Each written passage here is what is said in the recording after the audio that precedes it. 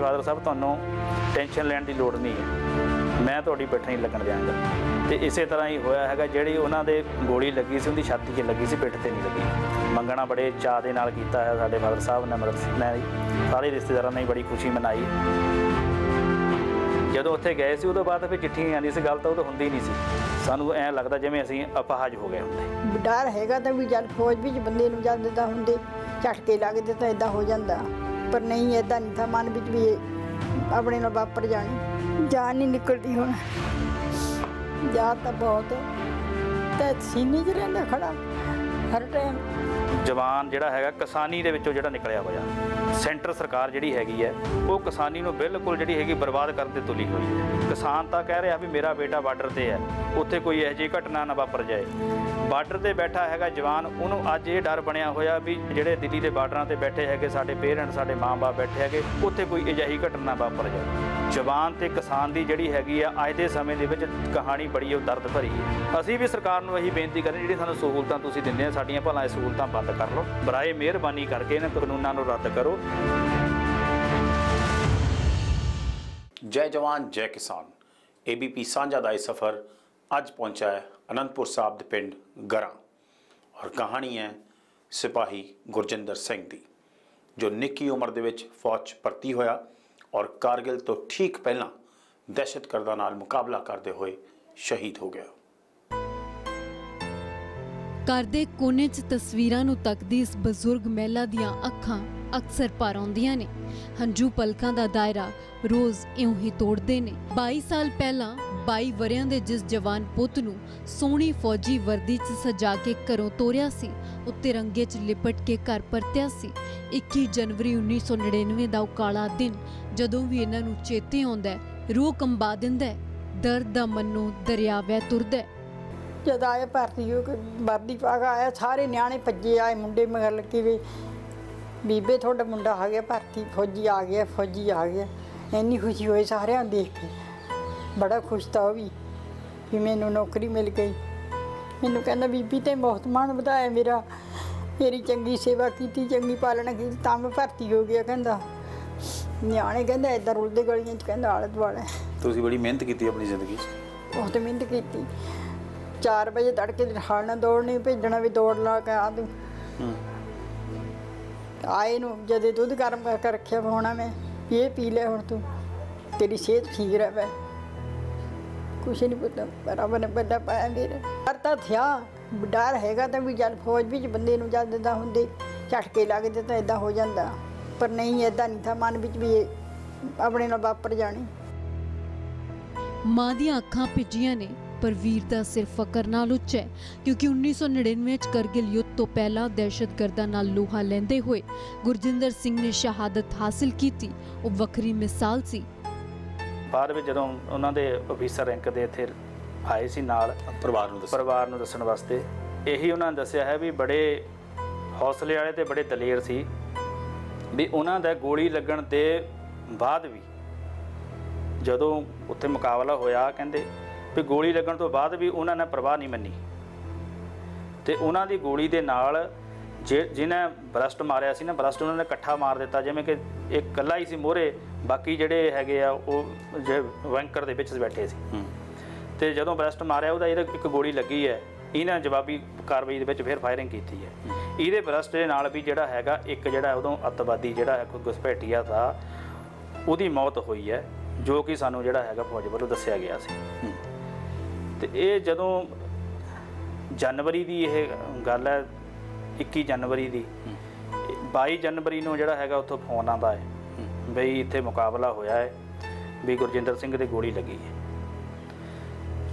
ਅਸੀਂ ਸਮਝਿਆ ਹੋਊਗਾ ਚਲੋ ਮੁਕਾਬਲੇ ਹੋ ਜਾਂਦੇ ਆ ਕਦੇ ਗੋਲੀ ਕਦੇ ਲੱਤ ਕਦੇ ਪੱਟ ਵਿੱਚ ਲੱਗੀ ਹੋਊਗੀ। ਚਲੋ ਉਹ ਤੋਂ ਬਾਅਦ ਮੁੜ ਕੇ ਫੇਰ ਸਾਨੂੰ ਜਿਹੜਾ ਹੈਗਾ ਉਹ ਕੋਈ ਹਾਇਰ ਜਿਹੜੇ ਹੈਗੇ ਉਹਦੇ ਅਫੀਸਰ ਵੱਲੋਂ ਜਿਹੜਾ ਹੈਗਾ ਵੀ ਫਾਦਰ ਸਾਹਿਬ ਨਾਲ ਗੱਲ ਹੁੰਦੀ ਹੈ। ਤਾਂ ਉਹ ਦੱਸਦੇ ਵੀ ਨਹੀਂ ਉਹਨਾਂ ਦੇ ਗੋਲੀ ਜਿਹੜੀ ਹੈਗੀ ਆ ਉਹ। ਛਾਤੀ ਤੋਂ ਥੱਲੇ ਇਸ ਜਗ੍ਹਾ ਤੇ ਲੱਗੀ ਸੀ। ਇਸ ਜਗ੍ਹਾ ਤੇ ਗੋਲੀ ਲੱਗੀ ਸੀ ਵੀ ਉਹ ਗੋਲੀ ਆਰ ਪਰ ਹੋ ਗਈ। ਆਰ ਪਰ ਹੋਣ ਦੇ ਨਾਲ ਇੱਕ ਤਾਂ ਉਚਾਈ ਤੇ ਸੀ। ਉੱਥੋਂ ਤੁਰੰਤ ਜਿਹੜਾ ਹੈਗਾ ਜਵਾਨ ਨੂੰ ਲਿਆਉਣ ਦਾ ਸਾਧਨ ਨਹੀਂ ਸੀ। ਤੇ ਉਹਦੇ ਨਾਲ ਹੀ ਕਹਿੰਦੇ ਵੀ ਉਹਨਾਂ ਦੀ ਤਕਰੀਬਨ ਗੋਲੀ ਲੱਗਣ ਤੋਂ ਘੰਟਾ ਬਾਅਦ ਜਿਹੜੀ ਹੈਗੀ ਆ, ਉਹਨਾਂ ਦੀ ਜਿਹੜੀ ਹੈਗੀ ਆ, ਮੌਤ ਹੋਈ ਹੈ ਜਿਹੜੇ ਉਹ ਵੀਰ ਗਤੀ ਨੂੰ ਪ੍ਰਾਪਤ ਹੋ ਗਏ। ਗੁਰਜਿੰਦਰ ਸਿੰਘ ਦੱਸਦੇ ਸਨ ਕਿ ਸਰਹੱਦ ਤੇ ਸਾਲ 1998 ਤੇ 99 ਦੇ ਵਿੱਚ ਹਾਲਾਤ ਸੁਖਾਵੇਂ ਨਹੀਂ ਸੀ। ਪਰ ਹਮੇਸ਼ਾ ਕਹਿੰਦੇ ਕਿ ਸਰਹੱਦਾਂ ਤੇ ਫੌਜੀ ਡਟੇ ਨੇ, ਇਸ ਲਈ ਦੇਸ਼ ਵਾਸੀਆਂ ਨੂੰ ਫਿਕਰ ਦੀ ਕੋਈ ਲੋੜ ਨਹੀਂ। ਸਾਨੂੰ ਜਿਹੜਾ ਹੈ ਪਤਾ, ਉਹਨਾਂ ਨੇ ਦੱਸਿਆ ਸੀ ਪੋਸਟਿੰਗ ਵੀ ਜੇ ਐਂਡ ਕੇ ਦੇ ਵਿੱਚ ਹੋਈ ਹੈ। ਮਾਹੌਲ ਉੱਥੇ ਬਹੁਤਾ ਹੈਗਾ ਜਿਹੜਾ ਹੈਗਾ ਸੁਖਾਵਾਂ ਨਹੀਂ ਹੈ। ਹਰ ਸਮੇਂ ਉੱਥੇ ਜਿਹੜਾ ਹੈਗਾ ਤਣਾਅਪੂਰਵਕ ਜਿਹੜਾ ਹੈਗਾ ਮਾਹੌਲ ਬਣਿਆ ਹੋਇਆ, ਕਿਉਂਕਿ ਘੁਸਪੈਠ ਬਹੁਤ ਜ਼ਿਆਦਾ ਹੈ, ਘੁਸਪੈਠ ਇੰਨੀ ਜ਼ਿਆਦਾ ਸੀ ਵੀ ਅੱਖ ਚਮਕਣ ਦੇ ਨਾਲ ਹੀ ਜਿਹੜਾ ਕਹਿੰਦਾ ਉੱਥੇ ਮਾਹੌਲ ਖਰਾਬ ਹੋ ਜਾਂਦਾ ਸੀ। ਜਦੋਂ ਉੱਥੇ ਉ- ਉਦੋਂ ਵਾਪਸੀ ਆਏ ਸੀ ਛੁੱਟੀ, ਇਹ ਵੀ ਦੱਸ ਰਹੇ ਸੀ ਵੀ ਚਲੋ ਮਾਹੌਲ ਵੀ ਉੱਥੇ ਹੈਗਾ ਤੇ ਇੱਕ ਫੌਜ ਦੀਆਂ ਸਿਫਤਾਂ ਵੀ ਬਹੁਤ ਕਰਦੇ ਸੀ ਵੀ ਫੌਜ ਇੱਕ ਅਜਿਹੀ ਜਿਹੜੀ ਦੇਸ਼ ਦੀ ਜਿਹੜੀ ਕਹਿੰਦਾ ਰੀੜ ਦੀ ਹੱਡੀ ਹੈ, ਵੀ ਜਿਹੜੀਆਂ ਸਰਹੱਦਾਂ ਤੇ ਪੂਰੀ ਜਿਹੜੀ ਹੈਗੀ ਆ ਕੰਧ ਬਣ ਕੇ ਜਿਹੜੇ ਹੈ ਖੜੇ ਹੋਏ ਆ ਵੀ ਦ- ਵੀ ਤੁਹਾਨੂੰ ਤੁਹਾਨੂੰ ਜਿਹੜਾ ਹੈਗਾ ਜਿਹੜੇ ਆਪਾਂ ਹੁਣ ਇਸ ਟਾਈਮ ਹਿੰਦੁਸਤਾਨੀ ਆਪਣੇ ਘਰਾਂ ਦੇ ਵਿੱਚ ਚੈਨ ਦੇ ਨਾਲ ਰਹਿ ਰਹਿ ਰਹੇ ਆ ਉਹ ਸਿਰਫ ਔਰ ਸਿਰਫ ਜਿਹੜਾ ਹੈ ਇਹਦਾ ਇਹਦੀ ਬਦੌਲਤ ਹੈ ਫੌਜ ਦੀ ਬਦੌਲਤ ਹੈ। ਤੇ ਹਮੇਸ਼ਾ ਇਹ ਉਹਨਾਂ ਹੈਗਾ ਫਾਦਰ ਸਾਹਿਬ ਨੂੰ ਆ ਕੇ ਕਹਿਣਾ ਹੈਗਾ ਵੀ ਤੈਨ- ਤੈਨੂੰ ਟੈਨਸ਼ਨ ਲੈਣ ਦੀ ਲੋੜ ਨਹੀਂ ਹੈ। ਜਿਵੇਂ ਕਿ ਫੌਜ ਦੇ ਵਿੱਚ ਔਖ ਵੀ ਬੜੀ ਹੁੰਦੀ ਫਾਦਰ ਸਾਹਿਬ ਨੇ ਇਹ ਵੀ ਬਹੁਤ ਉਹਨਾਂ ਨੂੰ ਸਮਝਾਉਣਾ ਹੈਗਾ ਵੀ ਬੜੀ ਔਖੀ ਹੈ ਨੌਕਰੀ ਬਹੁਤ ਔਖੀ ਹੈ ਨੌਕਰੀ ਕਰਨੀ। ਪਰ ਫਿਰ ਵੀ ਤੁਸੀਂ ਫਿਰ ਉਹਨਾਂ ਨੇ ਦੱਸਣਾ ਜਦੋਂ ਛੁੱਟੀ ਆਏ ਸੀ ਉਹਨਾਂ ਦੱਸਿਆ ਵੀ ਫਾਦਰ ਸਾਹਿਬ ਤੁਹਾਨੂੰ ਟੈਨਸ਼ਨ ਲੈਣ ਦੀ ਲੋੜ ਨਹੀਂ ਹੈ। ਮੈਂ ਤੁਹਾਡੀ ਪਿੱਠ ਨਹੀਂ ਲੱਗਣ ਦਿਆਂਗਾ। ਤੇ ਇਸੇ ਤਰ੍ਹਾਂ ਹੀ ਹੋਇਆ ਹੈਗਾ ਜਿਹੜੀ ਉਹਨਾਂ ਦੇ ਗੋਲੀ ਲੱਗੀ ਸੀ ਉਹਦੀ ਛਾਤੀ 'ਚ ਲੱਗੀ ਸੀ ਪਿੱਠ ਤੇ ਨਹੀਂ ਲੱਗੀ। ਸ਼ਹੀਦ ਹੋਣ ਦੇ ਇੱਕ ਮਹੀਨਾ ਪਹਿਲਾਂ ਚਿੱਠੀ ਭੇਜੀ ਸੀ ਜੋ ਅੱਜ ਵੀ ਪਰਿਵਾਰ ਨੇ ਸਾਂਭ ਕੇ ਰੱਖੀ ਹੈ। ਜਦੋਂ ਉੱਥੇ ਗਏ ਸੀ ਉਦੋਂ ਬਾਅਦ ਫਿਰ ਚਿੱਠੀਆਂ ਆਉਂਦੀ ਸੀ ਗੱਲ ਤਾਂ ਉਦੋਂ ਹੁੰਦੀ ਨਹੀਂ ਸੀ।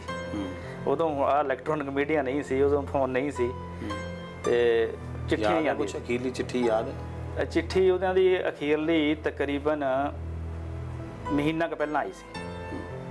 ਹਾਲ ਚਾਲ ਹੀ ਪੁੱਛਦੇ ਸੀ ਬਸ। ਮਹੀਨਾ ਕੁ ਪਹਿਲਾਂ ਆਈ ਸੀ ਜਿਵੇਂ ਕੋਈ ਚਿੱਠੀ ਦਾ ਇੱਕ ਉਹ ਮੂਲ ਹੁੰਦਾ ਹੈਗਾ ਵੀ ਮੈਂ ਗੁਰਜਿੰਦਰ ਸਿੰਘ ਇੱਥੇ ਠੀਕ ਠਾਕ ਹੈ। ਆਸ ਕਰਦਾ ਤੁਸੀਂ ਵੀ ਠੀਕ ਹੋਵੋਗੇ। ਮੈਂ ਇੱਥੇ ਬਹੁਤ ਵਧੀਆ ਹੈ ਮੇਰੇ ਅਫਸਰ ਵਧੀਆ ਹੈ ਸਾਡੀ ਇੱਥੇ ਪੋਸਟਿੰਗ ਹੈ। ਤੁਹਾਨੂੰ ਘਬਰਾਉਣ ਦੀ ਕੋਈ ਲੋੜ ਨਹੀਂ ਹੈਗੀ। ਸਾਡੇ ਸਾਥੀ ਸਾਰੇ ਨਾਲ ਹੈ ਅਸੀਂ ਰਾਜੀ ਖੁਸ਼ੀ ਹੈ। ਤੁਸੀਂ ਵੀ ਰਾਜੀ ਖੁਸ਼ੀ ਹੋਵੋਗੇ। ਇਹ ਚਿੱਠੀਆਂ ਦੇ ਵਿੱਚ, ਉਹ ਚਿ- ਚਿ- ਚਿੱਠੀਆਂ ਦੇ ਜਿਹੜੇ ਸਿਸਟਮ ਸੀ, ਉਹ ਚਿੱਠੀਆਂ ਬੜੀਆਂ ਮਿੱਠੀਆਂ ਸੀ। ਹੁਣ ਤਾਂ ਫੋਨ ਤੇ ਬੰਦਾ ਤੁਰੰਤ ਤੁਰੰਤ ਗੱਲ ਕਰ ਲੈਂਦਾ। ਉਹ ਚਿੱਠੀਆਂ ਜਿਹੜੀਆਂ ਹੈਗੀਆਂ, ਉਹ ਅੱਜ ਵੀ ਤਕਰੀਬਨ ਅਸੀਂ ਸਾਂਭ ਕੇ ਰੱਖੀਆਂ ਹੋਈਆਂ ਨੇ, ਕਿਤੇ ਨਾ ਕਿਤੇ ਹੁਣ ਮਕਾਨ ਦੀ ਰੈਨੋਵੇਸ਼ਨ ਕਰਨ ਦੇ ਨਾਲ ਉਹ ਕਿਤੇ ਰਿਕਾਰਡ ਅੱਗੇ ਪਿੱਛਾ ਹੋ ਗਿਆ। ਅਧੂਰੇ ਸੁਪਨੇ ਅੱਖਾਂ ਦੇ ਸਾਹਮਣੇ ਘੁੰਮਦੇ ਨੇ, ਜੋ ਮਾਪਿਆਂ ਨੇ ਆਪਣੇ ਪੁੱਤ ਲਈ ਦੇਖੇ ਸਨ। ਪਰ ਕਦੇ ਪੂਰੇ ਨਾ ਹੋਏ। ਪੁੱਤ ਦੇ ਸਿਰ ਸੀਰਾ ਸਜਾਉਣ ਦਾ ਚਾਅ ਵਿਚਾਲੇ ਰਹਿ ਗਿਆ। ਮੰਗਣਾ ਹੋਇਆ ਸੀ, ਵਿਆਹ ਦੀ ਤਿਆਰੀ ਸੀ, ਪਰ ਸ਼ਗਨਾਂ ਦਾ ਸਮਾਨ ਤਰਸਦਾ ਰਹਿ ਗਿਆ। ਹਾਂਜੀ, ਉਤੋਂ ਟ੍ਰੇਨਿੰਗ ਤੋਂ 4 ਮਹੀਨੇ 4.5 ਮਹੀਨੇ ਬਾਅਦ ਉਹਨਾਂ ਨੂੰ ਛੁੱਟੀ ਮਿਲਦੀ ਹੈ। ਫਿਰ ਛੁੱਟੀ ਆਏ।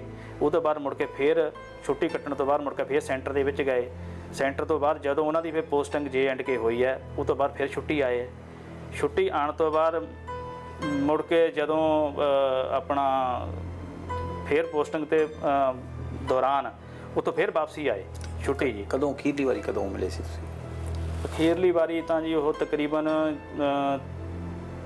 4 4 5 ਕੁ ਮਹੀਨੇ ਜਿਹੜੇ ਹੈਗੇ ਉਹ ਤੋਂ ਪਹਿਲਾਂ ਗਏ ਸੀ। ਮਤਲਬ ਜਨਵਰੀ 1999 ਚ ਉਹ। ਸ਼ਹੀਦ ਹੋਏ ਸੀ ਲੇਕਿਨ 1998 ਦੇ ਵਿੱਚ ਆਏ। 1998 ਦੇ ਵਿੱਚ ਆਏ ਸੀ। ਉਸ ਸਮੇਂ ਉਹਦਾ ਮੰਗਣਾ ਸੀ। ਜੀ ਘਰ ਦੇ ਵਿੱਚ ਬੜੇ ਖੁਸ਼ੀਆਂ ਦੇ ਮਾਹੌਲ ਤੇ। ਮੰਗਣਾ ਬੜੇ ਚਾਅ ਦੇ ਨਾਲ ਕੀਤਾ ਹੈ ਸਾਡੇ ਫਾਦਰ ਸਾਹਿਬ ਨੇ ਮਦਰ ਨੇ ਸਾਰੇ ਰਿਸ਼ਤੇਦਾਰਾਂ ਨੇ ਬੜੀ ਖੁਸ਼ੀ ਮਨਾਈ। ਇੱਕ ਇਹ ਵੀ ਹੈ ਨਾ ਸਾਡੇ ਪਰਿਵਾਰ ਦੇ ਵਿੱਚ ਜਿਵੇਂ ਕਿ ਸਾਡਾ ਨਾਨਕਾ ਪਰਿਵਾਰ ਹੈ ਨਾਨਕੇ ਪਰਿਵਾਰ ਦੇ ਵਿੱਚੋਂ ਸਾਡੀ ਮਾਤਾ ਜਿਵੇਂ ਕਿ ਵੱਡੇ ਸੀ ਸਾਰਿਆਂ ਚੋਂ ਤੇ ਬ੍ਰਦਰ ਮੇਰਾ ਸਾਰਿਆਂ ਤੋਂ ਵੱਡਾ ਸੀ ਜੀ। ਤੇ ਇਸ ਕਰਕੇ ਉਸ ਨਾਨਕੇ ਪਰਿਵਾਰ ਵੱਲੋਂ ਚਲੋ ਦਾਦਕੇ ਪਰਿਵਾਰ ਵਿੱਚ ਤਾਂ ਸਾਡੇ ਤਾਏ ਲੱਗਦੇ ਸੀ ਉਹਨਾਂ ਦੇ ਬੇਟੇ ਵਿਆਹ ਵਿਆਹੇ ਗਏ ਸੀ। ਪਰ ਨਾਨਕੇ ਪਰਿਵਾਰ ਵਿੱਚੋਂ ਸਾਡਾ ਜਿਹੜਾ ਹੈਗਾ ਪਹਿਲਾ ਮੰਗਣਾ ਸੀ ਜੀ। ਪਹਿਲਾ ਮੰਗਣਾ ਸੀ। ਪਹਿਲਾ ਮੰਗਣਾ ਸੀ। ਤੇ ਲਾਸਟ ਟਾਈਮ ਜਦੋਂ ਛੁੱਟੀ ਆਏ ਸੀ ਹਾਂਜੀ। ਉਦੋਂ ਮੰਗਣੇ ਵਾਸਤੇ ਆਏ ਮੰਗਣੇ ਵਾਸਤੇ ਆਏ ਸੀ। ਤੇ ਗਾਹਾਂ ਜਿਵੇਂ ਕਿ ਪਰਿਵਾਰ ਦੀ ਰਹਿ ਦੇ ਨਾਲ ਹੀ ਮਾਰਚ ਅਪ੍ਰੈਲ ਦੇ ਵਿੱਚ ਵਿਆਹ ਦੀ ਵੀ ਤਿਆਰੀ ਸੀ। 1999 ਚ। 99 ਦੇ ਵਿੱਚ। ਤੇ ਕਦ ਕਿੰਨੇ ਕੁ ਦਿਨ ਰਹੇ ਸੀ ਫਿਰ? ਜਦੋਂ ਪੋਸਟਿੰਗ ਤੋਂ ਬਾਅਦ ਉੱਥੋਂ ਵਾਪਸੀ ਛੁੱਟੀ ਆਇਆ ਉਸ ਸਮੇਂ ਤਕਰੀਬਨ 15 ਜਾਂ 20 ਦਿਨ ਰਹੇ ਛੁੱਟੀ ਆਏ ਸੀ। ਜਦੋਂ ਮੰਗਣਾ ਕਰਾਣਾ ਜਦੋਂ ਮੰਗਣਾ ਕਰਾਉਣ ਆਏ ਸੀ। ਰਿਸ਼ਤੇਦਾਰ ਵੀ ਕੋਲੇ ਹੋ ਗਏ ਸਾਰੇ ਵੀ ਛੇਤੀ ਕਰ ਲਓ ਛੇਤੀ ਕਰ ਲਓ। ਮੈਂ ਹਜਾ ਮਨਾ ਕਰ ਦਿੱਤੀ ਉਹਦੇ ਪਾਪਾ ਜੀ ਕਹਿੰਦੇ ਕਹਿੰਦੇ ਨਹੀਂ ਕਰ ਦੇਣਾ। ਲੋਕ ਹਾਲ ਦਾ ਨਾਰਾ ਮਾਰਦੇ ਵੀ ਇਹਦਾ ਮੁੰਡਾ ਫੌਜੀ ਹੋ ਗਿਆ ਤਾਂ ਨਾ ਦੇਈ ਜਾਂਦੇ। ਕਰ ਦੋ ਹੁਣ ਕਹਿੰਦੇ। ਚਲ ਮੈਂ ਕਿਹਾ ਠੀਕ- ਹੈ ਕਰ ਲੈ। ਵੀ 2 ਸਾਲ ਵਿਆਹ ਨਾ ਕਰਾਂਗੇ ਹਜਾ। ਠਹਿਰ ਕੇ ਕਰ ਲਵਾਂਗੇ ਫਿਰ ਰਿਸ਼ਤੇਦਾਰ ਕੋਲੇ ਹੋ ਕੇ ਵਿਆਹ ਵੀ ਛੇਤੀ ਕਰਨਾ ਅਸੀਂ। ਚੱਲ ਕਰ ਲਵਾਂਗੇ ਜੀ। ਮੰਗਣਾ ਕਰਾ ਕੇ ਗਿਆ ਮੁੜ ਕੇ ਛੁੱਟੀ ਹੋਈ ਨਹੀਂ ਆਇਆ। ਵਿਆਹ ਦੀ ਤਿਆਰੀ ਕਰਦੇ ਹੋਣੇ ਤੁਸੀਂ ਦੇ ਹੋਰ ਸਾਨੂੰ ਆਪ ਕਹੇ ਕਿ ਤੁਸੀਂ ਰੰਗ ਕਰਾ ਦਿਓ ਇਦਾਂ ਦਾ ਰੰਗ ਕਰਾਇਓ ਕਹਿੰਦਾ। ਫਿਰ ਚਿੱਠੀ ਪਾਈ ਰੰਗ ਹੋ ਗਿਆ। ਉਸਕੇ ਹਾਂ ਕਰਾ ਦਿੱਤਾ ਰੰਗ ਅਸੀਂ। ਜਗ੍ਹਾ ਨੂੰ ਰੰਗ ਕਰਾ ਦਿਓ। ਪੂਰੀ ਤਿਆਰੀ ਰੱਖਿਓ। ਪਹਿਲਾਂ ਆ ਕੇ ਮੈਂ ਖੰਡ ਪਾਠ ਸਾਹਿਬ ਕਰਾਉਣਾ ਕਹਿੰਦਾ। ਉੱਥੇ ਜਾ ਕੇ ਫਿਰ ਖੰਡ ਪਾਠ ਸਾਹਿਬ ਕਰਾਉਣਾ ਉਹਦੇ ਬਾਅਦ ਵਿਆਹ ਦੀ ਤਿਆਰੀ ਕਰਨੀ ਹੈ ਤੁਸੀਂ ਤੁਹਾਡੇ ਮਨ 'ਚ ਜੋ ਤਾਂ ਉੱਥੇ ਰੰਗ ਕਰਾਇਆ ਰਹਿ ਗਿਆ ਸਾਡਾ ਜਦ ਇਦਾਂ ਹੋ ਕੇ ਆ ਗਿਆ ਉਹ। ਮੈਂ ਦੇਖ ਰਿਹਾ ਸੀ ਸਮਾਨ ਸਾਰਾ ਸਾਂਭ ਕੇ ਰੱਖਿਆ ਤੁਸੀਂ। ਯਾਦਗਿਰੀ ਹੈ ਉਹਦੀ। ਉਹਦੀ ਯਾਦਗਿਰੀ ਜਿਵੇਂ ਛਾਪ ਕੇ ਰੱਖਣੀ ਸੀ ਫਿਰ। ਇਹੀ ਰਹਿ ਗਿਆ ਮੇਰੇ ਪੱਲੇ। ਹੋਰ ਤਾਂ ਉਹੀ ਨਹੀਂ ਰਿਹਾ। 1999 ਦੇ ਜਨਵਰੀ ਮਹੀਨੇ 'ਚ ਦਹਿਸ਼ਤਗਰਦੀ ਘੁਸਪੈਠ ਨੂੰ ਨਾਕਾਮ ਕਰਦੇ ਹੋਏ ਗੁਰਜਿੰਦਰ ਸਿੰਘ ਨੇ ਸ਼ਹਾਦਤ ਹਾਸਲ ਕੀਤੀ। ਉਮਰ ਦੇ ਅਜੇ ਦੋ ਦਹਾਕੇ ਹੀ ਦੇਖੇ ਸਨ, ਪਰ ਹਮੇਸ਼ਾ ਲਈ ਆਪਣਾ ਨਾਮ ਅਮਰ ਕਰ ਗਏ। ਵਧੀਆ, ਦੇਸ਼ ਦੀ ਸੇਵਾ ਕਰਕੇ ਕਰਨੀ ਨੂੰ ਭਾਤੀ ਹੋ ਜਾਣੇ ਨੇ ਤੇ ਗੱਡੀਆਂ ਭੇਟੀਆਂ ਧੱਕੇ ਖਾਈ ਜਾਣੇ। ਫੌਜ ਵਿੱਚ ਇੰਨੀ ਦੀ ਆਦਰ ਮਾਣ ਹੁੰਦਾ। ਹਾਂ, ਬਈ ਇੱਥੇ ਕੌਣ ਪੁੱਛਦਾ? ਸਰਕਾਰੀ ਨੌਕਰੀ ਬਣ ਜਾਂਦੀ। ਸਰਕਾਰੀ ਨੌਕਰੀ ਕਰਦੇ ਸਰਕਾਰ ਦੀ ਨੌਕਰੀ ਕਰਦੇ ਬੰਦੇ ਦਾ ਆਦਰ ਮਾਣ ਹੁੰਦਾ ਹੀ ਹੈ। ਘਰ ਵਾਲੇ ਨੂੰ ਕੌਣ ਪੁੱਛਦਾ? ਤੁਸੀਂ ਖੁਸ਼ ਹੋਣੇ ਪੂਰੇ ਜਦੋਂ ਭਰਤੀ ਹੋ ਗਿਆ? ਮੈਂ ਤਾਂ ਸੁੱਖਣਾ ਕਰੀਆਂ ਵਧੀਆਂ ਮੇਰਾ ਪੁੱਤ ਭਰਤੀ ਹੋ ਜਾਵੇ।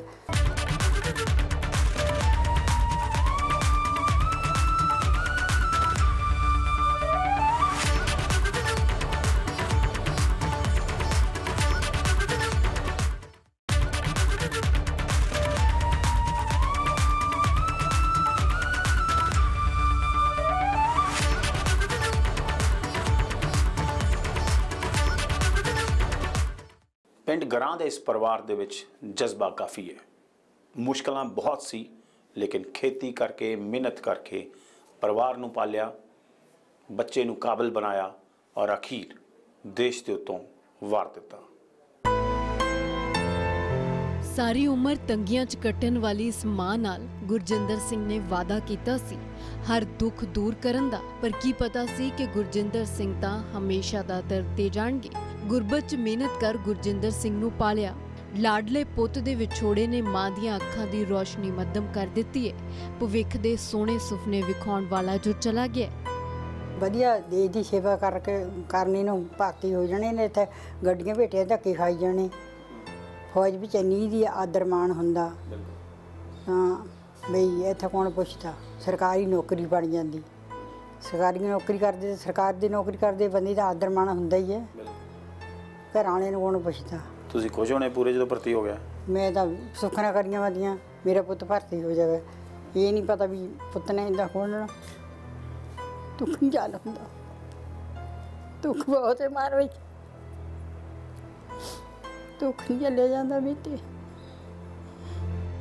ਅਮਰੀਕ ਸਿੰਘ ਨਾਲੋਂ ਉਹਨਾਂ ਦੇ ਭਰਾ ਦਾ ਸਾਥ ਛੁੱਟ ਗਿਆ ਜੋ ਹਮੇਸ਼ਾ ਨਾਲ ਰਹਿੰਦੇ ਸੀ। ਜ਼ਿੰਦਗੀ ਤਾਂ ਚੱਲ ਰਹੀ ਹੈ, ਪਰ ਦੋ ਦਹਾਕਿਆਂ ਬਾਅਦ ਵੀ ਗੁਰਜਿੰਦਰ ਸਿੰਘ ਦੀ ਅਣਹੋਂਦ ਹਰ ਪਲ ਇਸ ਪਰਿਵਾਰ ਨੂੰ ਖਲਦੀ ਹੈ।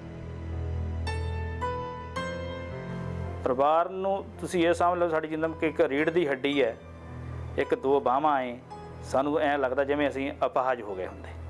ਇਸ ਤਰ੍ਹਾਂ ਸਾਨੂੰ ਜਿਹੜਾ ਹੈ ਮਹਿਸੂਸ ਹੋਇਆ। ਸ਼ਹੀਦ ਦੇ ਪਰਿਵਾਰ ਨੇ ਪਹਿਲਾਂ ਫੌਜ ਤੇ ਫਿਰ ਰਿਟਾਇਰਡ ਹੋਣ ਤੋਂ ਬਾਅਦ ਪਰਿਵਾਰ ਪਾਲਣ ਲਈ ਹੋਰ ਨੌਕਰੀ ਕੀਤੀ। ਸ਼ਹੀਦ ਦਾ ਪਰਿਵਾਰ ਅੱਜ ਵੀ ਮਿਹਨਤ ਨਾਲ ਜੁੜਿਆ ਉਮੀਦ ਸੀ ਕਿ ਗੁਰਜਿੰਦਰ ਸਿੰਘ ਦੇ ਨੌਕਰੀ ਤੇ ਜਾਣ ਬਾਅਦ ਸੌਖ ਹੋ ਜਾਏਗੀ, ਪਰ ਕਿਸਮਤ ਨੂੰ ਕੁਝ ਹੋਰ ਹੀ ਮਨਜ਼ੂਰ ਸੀ।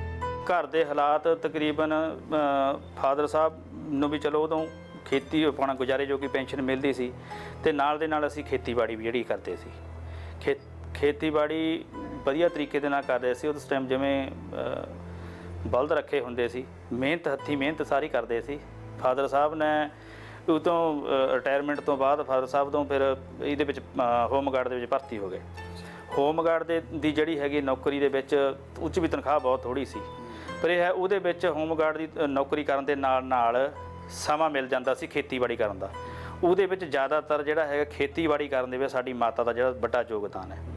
ਕਿਉਂਕਿ ਇਹ ਫਾਦਰ ਸਾਹਿਬ ਦੇ ਤਕਰੀਬਨ ਜਿਹੜੀ ਹੈਗੀ ਆ ਨੌਕਰੀ ਸਾਰੀ ਉਮਰ ਜਿਹੜੀ ਹੈਗੀ ਆ ਉਹ ਰਾਤ ਦੀ ਕੀਤੀ ਹੈ। ਅ, ਹੋਮਗਾਰਡ ਦੇ ਵਿੱਚ। ਫਿਰ ਦਿਨ ਉਹਨਾਂ ਨੇ ਸਵੇਰੇ ਜਿਵੇਂ ਸੱਜਰੇ ਆਣਾ ਉਹਨਾਂ ਦੇ ਆਉਣ ਤੋਂ ਪਹਿਲਾਂ ਬਲਦਾਂ ਨੂੰ ਘਾਹ ਪਾ ਕੇ ਐਨ ਰੈਡੀ ਕਰਕੇ ਰੱਖਣਾ ਹੋਣਾ। ਫਿਰ ਅਸੀਂ ਦੋਨਾਂ ਬ੍ਰਦਰਾਂ ਨੂੰ ਜਿਹੜਾ ਹੈਗਾ ਉਹ ਨਾਲ ਫਾਦਰ ਸਾਹਿਬ ਦੇ ਨਾਲ ਜਿਹੜੀ ਹੈਗੀ ਆ ਉਹ ਮਿਹਨਤ ਕਰਵਾਣੀ ਹੈ। ਤੇ ਖੇਤੀਬਾੜੀ ਦੇ ਨਾਲ ਵੀ ਤਕਰੀਬਨ ਸਾਡਾ ਜਿਹੜਾ ਗੁਜ਼ਾਰਾ ਹੋ ਜਾਂਦੇ ਉਹਦੇ ਨਾਲ ਦੇ ਨਾਲ ਅਸੀਂ ਮੱਝਾਂ ਰੱਖੀਆਂ ਹੋਈਆਂ ਸੀ ਜੀ। ਮੱਝਾਂ ਦਾ ਵੀ ਦੁੱਧ ਜਿਹੜਾ ਹੈਗਾ ਅਸੀਂ ਪਰਿਵਾਰ ਨੂੰ ਪਾਲਣ ਦੇ ਲਈ ਖੇਤੀਬਾੜੀ ਦੇ ਨਾਲ ਨਾਲ ਅਸੀਂ ਪਰਿਵਾਰ ਨੂੰ ਪਾਲਣ ਦੇ ਲਈ ਜਿਹੜਾ ਮੱਝਾਂ ਵੀ ਰੱਖੀਆਂ ਹੋਈਆਂ ਸੀ। ਕਿੰਨੀ ਕੁ ਪੈਲੀ ਹੈ ਪਰਿਵਾਰ ਦੀ? ਸਾਡੇ ਕੋਲ ਜੀ ਹੁਣ ਸਾਢੇ ਕੁ ਪੰਜ ਕਿੱਲੇ ਆ ਜੀ। ਸਾਢੇ ਪੰਜ ਕਿੱਲੇ ਸਾਰੀ ਦੀ ਸਾਰੀ ਅਸੀਂ ਜਿਹੜੀ ਹੈਗੀ ਆ ਉਹ ਫਾਦਰ ਸਾਹਿਬ ਨੇ ਬ੍ਰਦਰ ਦੀ ਮਿਹਨਤ ਨਾਲ ਮਾਤਾ ਦੀ ਮਿਹਨਤ ਨਾਲ ਤੇ ਉਹ ਅਸੀਂ ਸਾਰੀ ਪੈੜੀ ਅਸੀਂ ਆਪ ਖਰੀਦੀ ਹੋਈ ਹੈ। ਤੇ ਜੱਦੀ ਦੇ ਵਿੱਚ ਕੁਝ ਨਹੀਂ ਸੀ। ਦੋ ਕਿੱਲੇ ਜਿਹੜੇ ਹੈਗੇ 2.5 ਕਿੱਲੇ ਉਹ ਮੈਂ ਖੁਦਾਬ ਕਰਦਾ ਖੇਤੀ, ਡਿਊਟੀ ਦੇ ਨਾਲ ਨਾਲ ਜੀ। ਤੇ 2.5 ਕਿੱਲੇ ਅਸੀਂ ਜਿਹੜਾ ਠੇਕੇ ਤੇ ਦਿੱਤੇ ਹੋਏ ਆ ਜੀ। ਸਾਨੂੰ ਸ਼ਹੀਦ ਦਾ ਜਿਹੜਾ ਹੈਗਾ ਦਰਜਾ ਸਾਡੇ ਪਰਿਵਾਰ ਨੂੰ ਜਿਹੜਾ ਹੈਗਾ ਉਹ ਦਿੱਤਾ ਗਿਆ ਵੀ ਤੁਹਾਡੇ ਪਰਿਵਾਰ ਵਿੱਚੋਂ ਸ਼ਹੀਦ ਹੋਇਆ। ਜੇ ਸਰਕਾਰ ਨੂੰ ਇਹ ਲੱਗਦਾ ਏ ਵੀ ਇਹ ਇਸ ਪਰਿਵਾਰ ਨੇ ਦੇਸ਼ ਦੇ ਲਈ ਬੇ- ਦੇਸ਼ ਦੇ ਲਈ ਵੱਡੀ ਕੁਰਬਾਨੀ ਕੀਤੀ ਹੈ ਤਾਂ ਸਰਕਾਰ ਸਾਡੀ ਇਹ ਗੱਲ ਮੰਨ ਲਵੇ। ਅਸੀਂ ਸਰਕਾਰ ਨੂੰ ਬੇਨਤੀ ਕਰਦੇ ਹਾਂ ਵੀ ਜਿਹੜੇ ਤੁਸੀਂ ਤਿੰਨ ਕਾਲੇ ਕਾਨੂੰਨ ਬਣਾਏ ਆ ਇਹਨਾਂ ਨੂੰ ਵਾਪਸ ਲਓ। ਤੁਸੀਂ ਗੱਲ ਕੀਤੀ ਵੀ ਜਿਹੜੇ ਪਰਿਵਾਰ ਨੇ ਸ਼ਹੀਦਾਂ ਦੇ ਪਰਿਵਾਰ ਨੇ ਉਹਨਾਂ ਨੂੰ ਮਨ ਦਾ ਮਾਨ ਸਤਿਕਾਰ ਨਹੀਂ ਮਿਲ ਰਿਹਾ। ਨਹੀਂ ਮਿਲ ਰਿਹਾ। ਤੁਹਾਡੇ ਬ੍ਰਦਰ ਨੇ ਦੇਸ਼ ਲਈ ਜਾਨ ਦੇ ਦਿੱਤੀ। ਤੁਹਾਨੂੰ ਇਹ ਕਿਉਂ ਲੱਗਦਾ? ਤੁਹਾਡੇ ਮਨ 'ਚ ਇਹ ਗੱਲ ਕਿਉਂ ਆਈ ਹੈ? ਕਿਉਂਕਿ ਸ਼ਹੀਦ ਜਿਹੜੇ ਹੈਗੇ ਆ ਉਹ ਕੌਮ ਦਾ ਸਰਮਾਇਆ ਹੁੰਦੇ ਨੇ। ਜਦੋਂ ਅਸੀਂ ਆਪਣੇ ਸਰਮਾਏ ਨੂੰ ਹੀ ਭੁੱਲ ਗਏ ਫਿਰ ਉਹ ਕੌਮਾਂ ਜਿਹੜੀਆਂ ਹੈਗੀਆਂ ਕਿੱਥੇ ਜਿਉਂਦੀਆਂ ਰਹਿਣਗੀਆਂ? ਸ਼ਹਾਦਤ ਨੂੰ ਸਲਾਮ ਕਰਨ ਤਾਂ ਹਰ ਕੋਈ ਆਇਆ ਸੀ। ਪਰਿਵਾਰ ਨੂੰ ਵੀ ਲੱਗਿਆ ਕਿ ਸਰਕਾਰਾਂ ਸ਼ਹੀਦ ਪਰਿਵਾਰ ਦੀ ਬਾਹ ਫੜਨਗੀਆਂ। ਪਰ ਜਿਵੇਂ ਜਿਵੇਂ ਵਕਤ ਬੀਤਿਆ, ਇਹ ਆਸਾਂ ਵੀ ਮੱਧਮ ਪੈ ਗਈਆਂ। ਹੁਣ ਬਸ ਪਰਿਵਾਰ ਦੇ ਜੀ ਦੇ ਜਾਣ ਦਾ ਦੁੱਖ ਹੈ ਤੇ ਸਰਕਾਰਾਂ ਨਾਲ ਗਿਲੇ ਬੱਚੇ ਨੇ। ਇੱਕ ਤਾਂ ਮੇਰੇ ਬਦਲ ਨੂੰ ਪਹਿਲਾਂ ਤੋਂ ਹੀ ਸ਼ੌਂਕ ਸੀ। ਬਹੁਤ ਸ਼ੌਂਕ ਸੀ ਉਹਨਾਂ ਨੂੰ। ਫਾਦਰ ਸਾਹਿਬ ਨੂੰ ਵੀ ਇਹ ਸ਼ੌਂਕ ਸੀ ਵੀ ਮੇਰਾ ਜਿਹੜਾ ਹੈਗਾ ਇਹ ਦੋਨੋਂ ਪੁੱਤਰ ਮੇਰੇ ਬਾਰੇ ਵੀ ਉਹਨਾਂ ਦਾ ਇਹੀ ਵਿਚਾਰ ਸੀ ਵੀ ਇਹ ਵੀ ਫੌਜ ਦੇ ਵਿੱਚ ਨਾਲ ਭਰਤੀ ਹੋਵੇ। ਬ੍ਰਦਰ ਮੇਰਿਆਂ ਨੂੰ ਉਹਨਾਂ ਨੂੰ ਤਾਂ ਪਹਿਲਾਂ ਹੀ ਜਿਹੜਾ ਹੈਗਾ ਬਹੁਤ ਸ਼ੌਂਕ ਸੀ। ਫਾਦਰ ਸਾਹਿਬ ਨੂੰ ਜਿਹੜਾ ਦੇਸ਼ ਦੀ ਸੇਵਾ ਕਰਕੇ ਆਏ ਆ। ਉਹਨਾਂ ਨੂੰ ਇਸ ਗੱਲ ਦਾ ਜ਼ਿਆਦਾ ਜਜ਼ਬਾ ਸੀ ਵੀ ਮੇਰੇ ਜਿਹੜੇ ਹੈਗੇ ਪੁੱਤਰ ਹੈਗੇ ਉਹ ਦੇਸ਼ ਦੀ ਸੇਵਾ ਕਰਨ ਦੇ ਲਈ ਫੌਜ ਦੇ ਵਿੱਚ ਭਰਤੀ ਹੋਣ।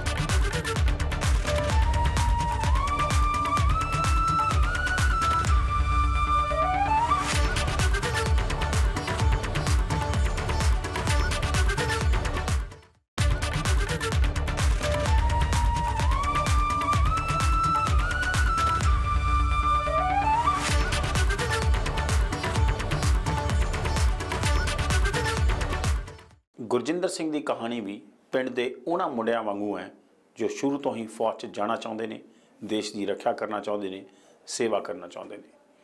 ਛੋਟੀ ਉਮਰ ਦੇ ਵਿੱਚ ਹੀ ਪਿਤਾ ਵੱਲ ਵੇਖ ਕੇ ਜੋ ਖੁਦ ਫੌਜ 'ਚ ਸਨ, ਗੁਰਜਿੰਦਰ ਨੂੰ ਇਹ ਸ਼ੌਂਕ ਪਿਆ ਔਰ ਜਜ਼ਬਾ ਕਾਇਮ ਹੋਇਆ ਭਾਰਤੀ ਫੌਜ 'ਚ ਭਰਤੀ ਹੋਣ ਦਾ। ਗੁਰਜਿੰਦਰ ਸਿੰਘ ਜਦੋਂ ਫੌਜ 'ਚ ਭਰਤੀ ਹੋਏ ਤਾਂ ਮਹਿਜ਼ 20 ਸਾਲ ਦੀ ਉਮਰ ਸੀ, ਪਰ ਘਰ ਤੋਂ ਬਹਾਦਰੀ ਦੀ ਗੁਰਤੀ ਲੈ ਕੇ ਤੁਰੇ ਇਸ ਜਾਬਾਜ਼ ਜਵਾਨ ਨੇ ਦੁਸ਼ਮਣਾਂ ਸਾਹਮਣੇ ਸੀਨਾ ਢਾ ਦਿੱਤਾ, ਪਰ ਦੇਸ਼ ਤੇ ਆਂਚ ਨਾ ਦਿੱਤੀ। ਸ਼ਹੀਦ ਗੁਰਜਿੰਦਰ ਸਿੰਘ ਦੇ ਪਿਤਾ ਵੀ ਫੌਜ ਦੇ ਵਿੱਚ ਹੀ ਸਨ। ਉਹਨਾਂ ਦੀ ਇੱਛਾ ਪੂਰੀ ਕਰਨ ਦੇ ਲਈ ਹੀ ਗੁਰਜਿੰਦਰ ਸਿੰਘ ਨੇ ਵਤਨ ਪ੍ਰਸਤੀ ਦਾ ਰਾਹ ਚੁਣਿਆ ਸੀ। ਪਹਿਲੀ ਗੱਲ ਤਾਂ ਇਹ ਸਾਡੇ ਫਾਦਰ ਸਾਹਿਬ ਵੀ ਜਿਹੜੇ ਹੈਗੇ ਫੌਜ ਵਿੱਚ ਸੀ। ਉਹਨਾਂ ਨੇ 15 ਸਾਲ ਦੇਸ਼ ਦੀ ਸੇਵਾ ਕੀਤੀ ਹੈ। ਜਿਹਨਾਂ ਦੀ ਜੁੰਟ ਸੀ ਜਿਹੜੀ ਹੈਗੀ 6 ਮਾਹਰ। ਜਿਹੜੀ ਇੱਕ ਬਹੁਤ ਵੱਡੀ ਪ੍ਰਾਪਤੀ ਸੀ ਉਸ ਜੁੰਟ ਦੇ ਕੋਲ, ਉਸ ਵਿੱਚੋਂ ਮੇਰੇ ਫਾਦਰ ਜਿਹੜੇ ਹੈਗੇ ਆ ਬਤੌਰ ਜਿਹੜੇ ਡਰਾਈਵਰ ਡੀਐਮਟੀ ਤੇ ਇੱਕ ਉਹ ਜਿਹੜੀ ਗੱਡੀ ਚਲਾਉਂਦੇ ਸੀ, ਜਿਹੜੀ ਉਹ ਟੈਂਕਾਂ ਨੂੰ ਫੋੜਦੀ ਸੀ। ਬੜੀ ਉੱਚ ਤੋਪ ਹੁੰਦੀ ਸੀ ਤੇ ਉਸ ਉਹਦਾ ਮਿਸ਼ਨ ਇਹ ਹੁੰਦਾ ਸੀ ਵੀ ਜਦੋਂ ਕਿ ਉਹ ਤੋਪ, ਜਿੱਥੋਂ ਉਹਨਾਂ ਨੇ ਫਾਇਰ ਕਰਨਾ, ਜਿੱਥੋਂ ਫਾਇਰ ਗਿਆ, ਜੋ ਦੁਸ਼ਮਣ ਦੇ ਟੈਂਕ ਸੀ, ਉਹਨਾਂ ਦਾ ਜਵਾਬੀ ਕਾਰਵਾਈ ਉੱਥੋਂ ਆਉਂਦੀ ਵੀ ਕਿੱਥੋਂ ਫਾਇਰ ਆਇਆ। ਉੱਥੋਂ ਫਾਇਰ ਕਰਨ ਦੇ ਨਾਲ ਹੀ ਉੱਥੋਂ ਗੱਡੀ ਨੂੰ ਉਸੇ ਟਾਈਮ ਜਿਹੜਾ ਹੈਗਾ ਉੱਥੇ ਭਜਾਣਾ ਪੈਂਦਾ ਸੀ। ਉਸ ਰੈਜੀਮੈਂਟ ਵਿੱਚ ਮੇਰੇ ਜਿਹੜੇ ਫਾਦਰ ਸਾਹਿਬ ਸੀ। ਉਹਨਾਂ ਦੀ ਪ੍ਰੇਰਣਾ, ਸਦਕਾ ਹੀ ਜਿਹੜੇ ਹੈਗੇ ਆ, ਇੱਕ ਤਾਂ ਮੇਰੇ ਬਦਨ ਨੂੰ ਪਹਿਲਾਂ ਤੋਂ ਹੀ ਸ਼ੌਂਕ ਸੀ। ਬਹੁਤ ਸ਼ੌਂਕ ਸੀ ਉਹਨਾਂ ਨੂੰ। ਫਾਦਰ ਸਾਹਿਬ ਨੂੰ ਵੀ ਇਹ ਸ਼ੌਂਕ ਸੀ ਵੀ ਮੇਰਾ ਜਿਹੜਾ ਹੈਗਾ ਇਹ ਦੋਨੋਂ ਪੁੱਤਰ, ਮੇਰੇ ਬਾਰੇ ਵੀ ਉਹਨਾਂ ਦਾ ਇਹੀ ਵਿਚਾਰ ਸੀ ਵੀ ਇਹ ਵੀ ਫੌਜ ਦੇ ਵਿੱਚ ਨਾਲ ਭਰਤੀ ਹੋਵੇ। ਬ੍ਰਦਰ ਮੇਰਿਆਂ ਨੂੰ ਉਹਨਾਂ ਨੂੰ ਤਾਂ ਪਹਿਲਾਂ ਹੀ ਜਿਹੜਾ ਹੈਗਾ ਬਹੁਤ ਸ਼ੌਂਕ ਸੀ। ਫਾਦਰ ਸਾਹਿਬ ਨੂੰ ਜਿਹੜੇ ਦੇਸ਼ ਦੀ ਸੇਵਾ ਕਰਕੇ ਆਏ ਆ। ਉਹਨਾਂ ਨੂੰ ਇਸ ਗੱਲ ਦਾ ਜ਼ਿਆਦਾ ਜਜ਼ਬਾ ਸੀ ਵੀ ਮੇਰੇ ਜਿਹੜੇ ਹੈਗੇ ਪੁੱਤਰ ਹੈਗੇ, ਉਹ ਦੇਸ਼ ਦੀ ਸੇਵਾ ਕਰਨ ਦੇ ਲਈ ਫੌਜ ਦੇ ਵਿੱਚ ਭਰਤੀ ਹੋਣ।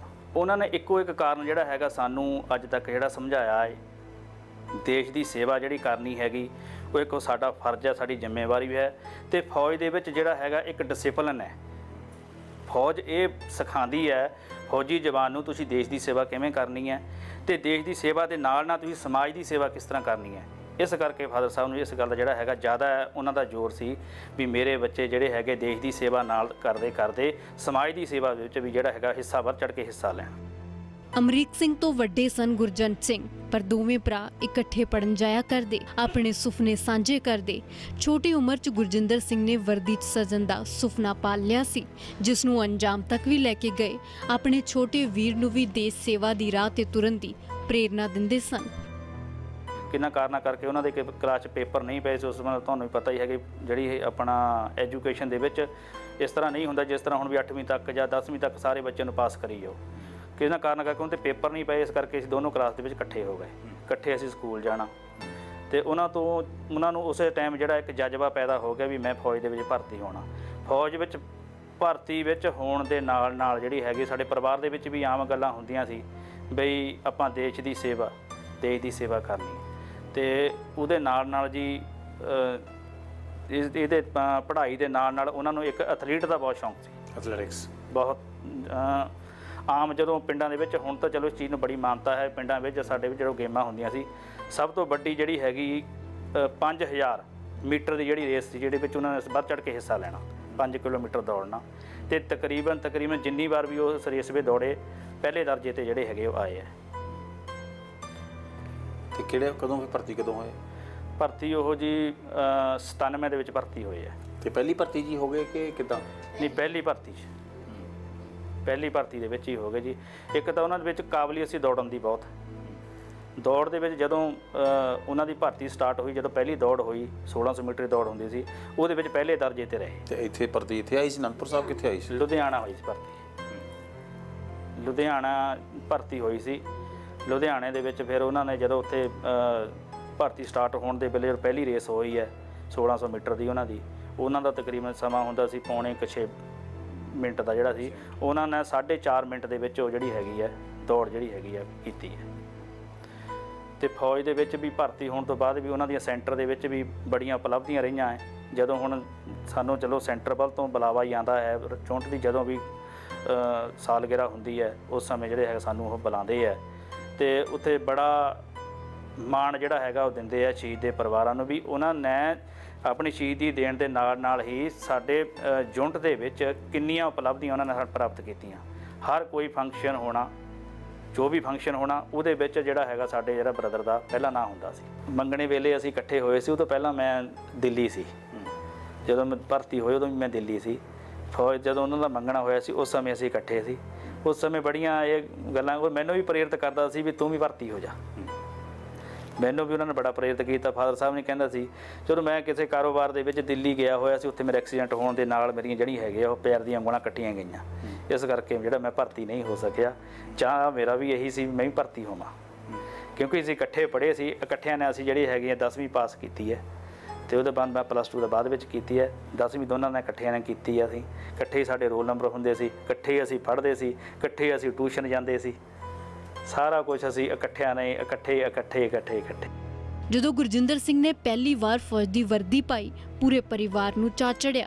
ਖੁਸ਼ੀ ਦਾ ਕੋਈ ਟਿਕਾਣਾ ਨਾ ਰਿਹਾ ਤੇ ਗੁਰਜਿੰਦਰ ਸਿੰਘ ਨੇ ਵੀ ਪਿਤਾ ਨਾਲ ਕੀਤਾ ਹਰ ਕੌਲ ਨਿਭਾਇਆ। ਪਰਿਵਾਰ ਦੇ ਵਿੱਚ ਤਾਂ ਜੀ ਉਹ ਤੋਂ ਖੁਸ਼ੀਆਂ ਜਿਹੜੀਆਂ ਹੈਗੀਆਂ ਸਮਾਈਆਂ ਜਿੰਨੇ ਪਰਿਵਾਰ ਨੂੰ ਮਾਣ ਸੀ। ਬਹੁਤ ਜ਼ਿਆਦਾ ਮਾਣ ਸੀ ਵੀ ਪਿਤਾ ਦੇ ਜਿਹੜੇ ਆਪਣੇ ਨਸ਼ਕੇ ਕਦਮਾਂ ਦੇ ਚੱਲਦੇ ਹੋਏ ਜਿਹੜੇ ਹੈਗੇ ਵੀ ਅੱਜ ਵਾਕਈ ਮੇਰੇ ਪੁੱਤਰ ਨੇ ਜਿਹੜਾ ਹੈਗਾ ਉਹ ਦੇਸ਼ ਦੇ ਵਿੱਚ ਆਪਣਾ ਸਰਵਿਸ ਦੇ ਲਈ ਜਿਹੜਾ ਹੈਗਾ ਉਹ ਜੁਆਇਨ ਕੀਤਾ। ਸੇਵਾ ਦੇ ਨਾਲ ਨਾਲ ਆਪਣੇ ਪਰਿਵਾਰ ਨੂੰ ਵੀ ਜਿਹੜਾ ਹੈਗਾ ਸੌਖਾ ਕਰਨ ਦੇ ਲਈ ਅਸੀਂ ਇਸ ਚੀਜ਼ ਨੂੰ ਮੰਨਦੇ ਵੀ ਹਾਂ ਸਾਰੇ ਵੀ ਆਪਾਂ ਦੇਸ਼ ਦੀ ਸੇਵਾ ਵੀ ਕਰਦੇ ਹਾਂ, ਜੋ ਉਹਦੇ ਬਦਲੇ ਸਾਨੂੰ ਮਿਲਦਾ ਹੈਗਾ, ਅਸੀਂ ਉਹਨਾਂ ਆਪਣਾ ਪਰਿਵਾਰ ਵੀ ਪਾਲਣਾ ਹੁੰਦਾ। ਕਦੇ ਵੀ ਨਹੀਂ, ਇਹ ਚੀਜ਼ ਤਾਂ ਕਦੇ ਸੋਚੀ ਨਹੀਂ ਸੀ। ਇਹ ਚੀਜ਼ ਕਦੇ ਸੋਚੀ ਨਹੀਂ ਸੀ। ਪਰ ਫਾਦਰ ਸਾਹਿਬ ਨੇ ਉਹਨਾਂ ਨੂੰ ਵੱਡੀ ਜਿਹੜੀ ਇੱਕ ਦਲੇਰੀ ਦੇ ਕੇ ਰੱਖੀ ਸੀ ਬਈ ਤੈਂ ਤੈਂ ਘਬਰਾਣਾ ਨਹੀਂ ਹੈ ਫੌਜ ਦੇ ਵਿੱਚ ਬਹੁਤ ਕੁਝ ਹੁੰਦਾ ਹੈ ਕਿਉਂਕਿ ਮੇਰੇ ਫਾਦਰ ਸਾਹਿਬ ਨੇ 1971 ਦੀ ਜੰਗ ਜਿਹੜੀ ਹੈਗੀ ਆ ਉਹ ਲੜੀ ਸੀ। 1965 ਦੀ ਜੰਗ। ਦੋ ਜੰਗਾਂ ਜਿਹੜੀਆਂ ਹੈਗੀਆਂ ਫਾਦਰ ਸਾਹਿਬ ਨੇ ਲੜੀਆਂ ਸੀ।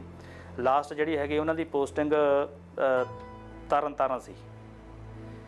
ਇੱਥੇ ਜਦੋਂ ਫੌਜ ਦੇ ਨਾਲ 1971 ਦੇ ਵਿੱਚ ਜਿਹੜੀ ਉਹ ਲੜਾਈ ਹੋਈ ਹੈ ਉਸ ਸਮੇਂ ਫਾਦਰ ਸਾਹਿਬ ਸਾਨੂੰ ਦੱਸਦੇ ਹੁੰਦੇ ਵੀ ਵੱਡਾ ਮੁਸ਼ਕਲ ਸਮਾਂ ਸੀ ਬਹੁਤ ਮੁਸ਼ਕਲ। sector ਸੀਗਾ। ਖੇਮਕਰਨ ਸੈਕਟਰ ਤੇ। ਉਹਦਾ ਜਦ ਤੁਸੀਂ ਬੰਨ ਹੁੰਦਾ ਸੀ ਉਹਦੇ ਨਾਲ ਨਾਲ ਕਹਿੰਦਾ ਅਸੀਂ ਇੱਥੇ ਗਸ਼ਤ ਕਰਨੀ ਹੈ ਉੱਥੇ ਇਹ ਨਹੀਂ ਪਤਾ ਲੱਗਣਾ ਜਵਾਬੀ ਕਾਰਵਾਈ ਵਿੱਚ ਕਦੋਂ ਫਾਇਰ ਆ ਜਾਣਾ। ਇੱਕ ਸਭ ਤੋਂ ਵੱਡੀ ਘੁਸਪੈਠ ਉੱਥੇ ਇਸ ਚੀਜ਼ ਦੀ ਸੀ ਵੀ ਜਦੋਂ ਬਹੁਤ ਸਾਰੇ ਜਿਹੜੇ ਹੈਗੇ ਉਹਨਾਂ ਦੇ ਜਾਸੂਸ ਉਹ ਸਾਡਾ ਭੇਸ ਬਣਾ ਕੇ ਉੱਥੇ ਦੇ ਗਵਾਂਢੀ ਪਿੰਡਾਂ ਦੇ ਵਿੱਚ ਰਹਿ ਰਹੇ ਸੀ। ਜਦੋਂ ਇਹ ਲੜਾਈ ਦੇ ਦੌਰਾਨ ਉਹ ਕਹਿੰਦੇ ਸਾਨੂੰ ਉਦੋਂ ਪਤਾ ਲੱਗਿਆ ਵੀ ਸਾਡੀ ਮੂਵਮੈਂਟ ਇੰਨੀ ਛੇਤੀ ਦੁਸ਼ਮਣ ਦੇ ਕੋਲ ਕਿਸ ਤਰ੍ਹਾਂ ਪਹੁੰਚ ਰਹੀ ਹੈ। ਫਿਰ ਜਦੋਂ ਉਹਨਾਂ ਨੇ ਰੈਕੀ ਕੀਤੀ, ਉੱਥੇ ਗੁਰਦੁਆਰਾ ਸਾਹਿਬ ਸੀ, ਗੁਰਦੁਆਰਾ ਸਾਹਿਬ ਦਾ ਜਿਹੜਾ ਗ੍ਰੰਥੀ ਸੀ, ਉਹ ਜਾਸੂਸ ਸੀ। ਮੇਜਰ ਰੈਂਕ ਦਾ ਉਹ ਪਾਕਿਸਤਾਨੀ ਜਿਹੜਾ ਸੀ, ਜਿਹਨੂੰ ਫੜਿਆ ਗਿਆ। ਜਿਹਨੇ ਕਿ ਸਾਰੀ ਉਹ ਮੂਵਮੈਂਟ ਉਹਨਾਂ ਦੀ ਰੱਖਦਾ ਸੀ ਵੀ ਅੱਜ ਫੌਜ ਕੀ ਕਰ ਰਹੀ, ਅੱਜ ਕੀ ਕਰ ਰਹੀ, ਅੱਜ ਇਹਨਾਂ ਦੇ ਕਿੰਨੇ ਜਵਾਨ ਹੈ, ਕਿੰਨੇ ਇਹਨਾਂ ਕੋਲ ਅੱਜ ਟੈਂਕ ਹੈ, ਕਿੰਨੀਆਂ ਇਹਨਾਂ ਕੋਲ ਮਸ਼ੀਨ ਗੰਨਾ ਹੈ। ਕਿੰਨੀ ਸਟਰੈਂਥ ਹੈ ਇਹਨਾਂ ਦੀ ਕਿੱਥੇ ਕਿੱਥੇ ਇਹਨਾਂ ਨੇ ਜਿਹੜੇ ਵੈਂਕਰ ਬਣਾਏ ਹੋਏ ਆ ਕਿੱਥੇ ਕਿੱਥੇ ਇਹਨਾਂ ਨੇ ਇਹਨਾਂ ਨੇ ਮੋਰਚੇ ਬਣਾਏ ਹੋਏ ਆ, ਉਹ ਸਾਰੀ ਦੀ ਸਾਰੀ ਇਨਫੋਰਮੇਸ਼ਨ ਉਹਨਾਂ ਦੇ ਕੋਲ ਹੁੰਦੀ ਸੀ। ਇੱਕ ਪਿਤਾ ਜਿਸ ਨੇ ਆਪਣੇ ਪਰਿਵਾਰ ਨੂੰ ਮਿਹਨਤ ਨਾਲ ਪਾਲਿਆ, ਬੇਟਿਆਂ ਨੂੰ ਵਤਨ ਪ੍ਰਸਤੀ ਸਿਖਾਈ, ਖੁਦ ਦੇਸ਼ ਦੀਆਂ ਸਰਹੱਦਾਂ ਦੀ ਰਾਖੀ ਕੀਤੀ, ਇੱਕ ਮਾਂ ਜਿਸ ਨੇ ਜਵਾਨ ਪੁੱਤ ਨੂੰ ਦੇਸ਼ ਤੋਂ ਵਾਰ ਕੇ ਵੀ ਸਬਰ ਦਾ ਕੁੱਟ ਭਰਿਆ, ਤਾਂ ਉਮਰ ਦੀ ਪੀੜ ਹੰਡਾਈ ਪਰ ਮੁਸ਼ਕਲਾਂ ਨੇ ਕਿਸ ਪਰਿਵਾਰ ਦੀਆਂ ਨਾ ਪਹਿਲਾਂ ਘੱਟ ਸਨ ਤੇ ਨਾ ਅੱਜ ਘੱਟ ਨੇ। ਪਰ ਅੱਜ ਦੇ ਸਮੇਂ ਵਿੱਚ ਦੇਖਿਆ ਜਾਵੇ ਸਰਕਾਰ ਨੇ ਜਿਨ੍ਹਾਂ ਸ਼ਹੀਦਾਂ ਨੇ ਦੇਸ਼ ਦੀ ਜਿਹੀ ਰੱਖਿਆ ਦੇ ਲਈ ਆਪਣਾ ਬਲੀਦਾਨ ਦਿੱਤਾ ਹੈ, ਅੱਜ ਸਰਕਾਰ ਉਹਨਾਂ ਨੂੰ ਕੋਈ ਸਹੂਲਤ ਜਿਹੜੀ ਹੈਗੀ ਹੈ ਨਹੀਂ ਦੇ ਰਹੀ। ਕਿਤੇ ਉਹਨਾਂ ਦਾ ਬਣਦਾ ਸਨ- ਨਾ ਉਹਨਾਂ ਦਾ ਬਣਦਾ ਸਨਮਾਨ ਕਿਤੇ ਨਹੀਂ ਦੇ ਰਹੀ।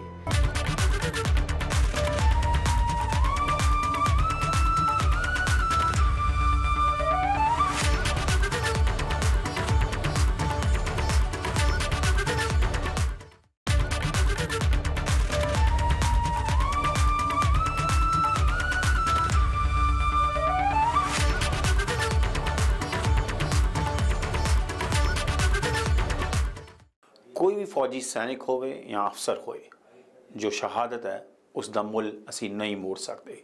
ਉਹ ਜਜ਼ਬਾ ਦੇਸ਼ ਦੀ ਉਹ ਜੋ ਦਿਖਾਉਂਦੇ ਨੇ, ਉਹਦਾ ਕੋਈ ਵੀ ਮੇਲ ਨਹੀਂ ਹੈ।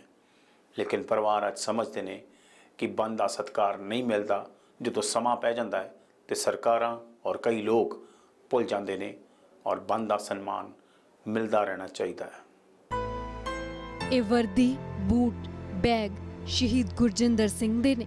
ਜਦੋਂ ਵੀ ਪੁੱਤ ਦੀ ਯਾਦ ਆਉਂਦੀ ਹੈ, ਇਹ ਬਜ਼ੁਰਗ ਮਾਂ ਇਹਨਾਂ ਨਿਸ਼ਾਨੀਆਂ ਨੂੰ ਟੋਕ ਕੇ ਆਪਣੇ ਬੇਟੇ ਦੀ ਛੋ ਮਹਿਸੂਸ ਕਰਦੀ ਹੈ।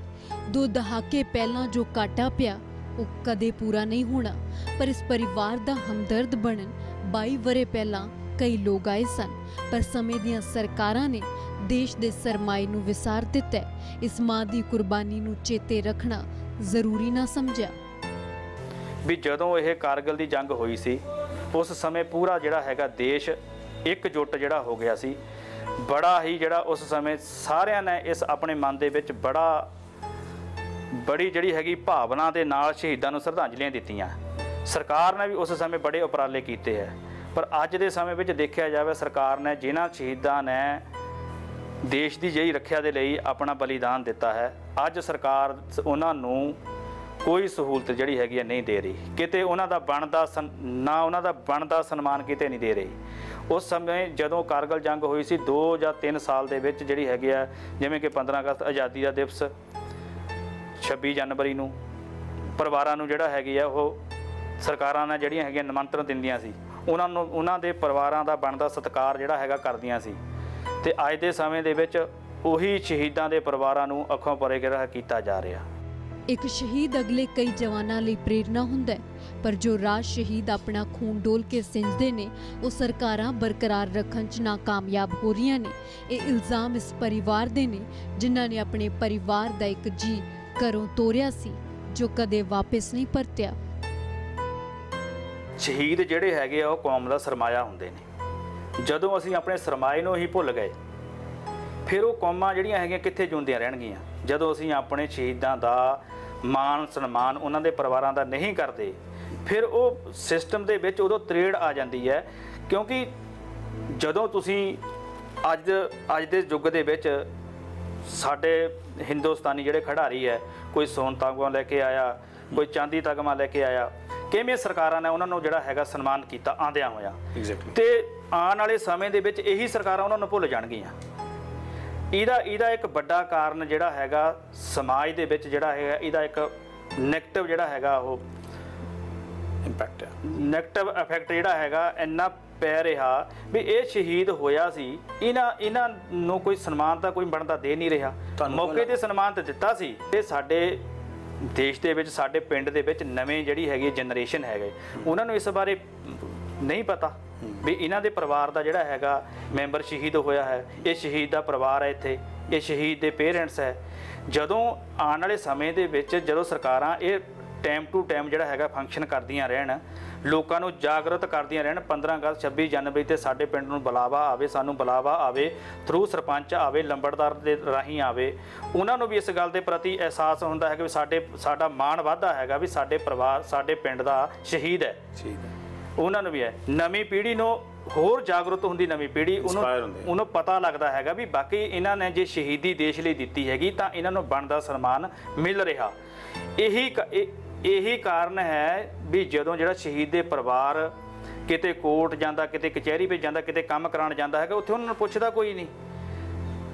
ਉੱਥੇ ਉਹਨਾਂ ਨੂੰ ਪੁੱਛਦਾ ਕੋਈ ਨਹੀਂ। ਇਸੇ ਕਾਰਨ ਕਰਕੇ ਮੈਂ ਇਹੀ ਇਹੀ ਕਹਿ ਰਿਹਾ ਹੈਗਾ ਵੀ ਜਿਹੜਾ ਸ਼ਹੀਦਾਂ ਨੂੰ ਬਣਦਾ ਸਨਮਾਨ ਸਰਕਾਰ ਵੱਲੋਂ ਨਹੀਂ ਦਿੱਤਾ ਜਾਂਦਾ, ਜਿਹੜਾ ਕਿ ਉਹਨਾਂ ਨੂੰ ਮਿਲਣਾ ਚਾਹੀਦਾ ਸੀ।